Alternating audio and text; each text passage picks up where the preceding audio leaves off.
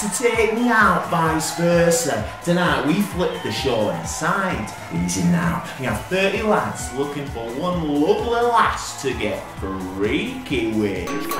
Oh, oh Lucy, let's have a look at video. My name is Lucy. I kiss my female friends when I'm drunk and I wear revealing clothes to keep you interested.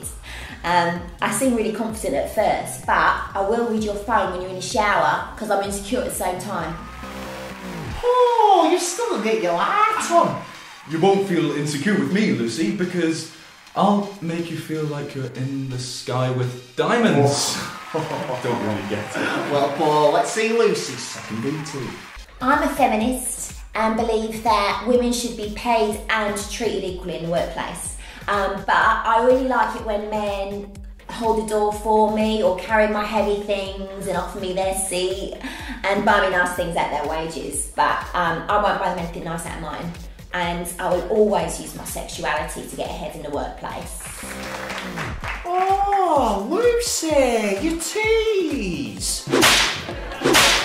Mark, Lucy seems like she has pretty bad double standards. That's fine, Paddy. As long as she doesn't just save her sexuality for the workplace. Isn't that right, lads? Oh, let's watch your last clip, Lucy. And remember, lads, turn your light red if you don't want her in bed. This is quite uncomfortable the other way around, actually, Paddy.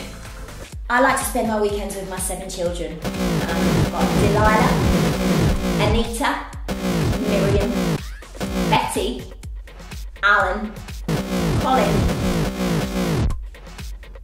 and um, James.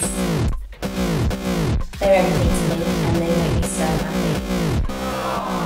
Oh, why'd you turn your lights off? Yeah, yeah, it, it was just the checking the mobile thing. It, it, it just really sunk in. Lucy, it looks like you're off to Fernando's and you're on. This show is horrible. I mean, it's fine to treat men like this because then it's just a bit of harmless fun, but when you turn it around and it's about women, it's degrading. I feel like a piece of bloody meat.